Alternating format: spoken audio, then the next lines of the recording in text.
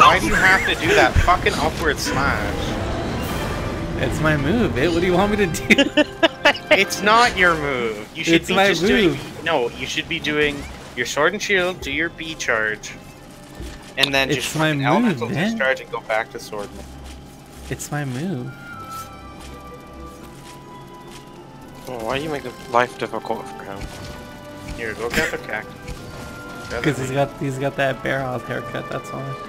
Oh my I was just Yeah. about to say, leave him alone. He already has enough Break- for what that break orange Stop! Is. the Stop! tap. Let me gather my fucking cactuses.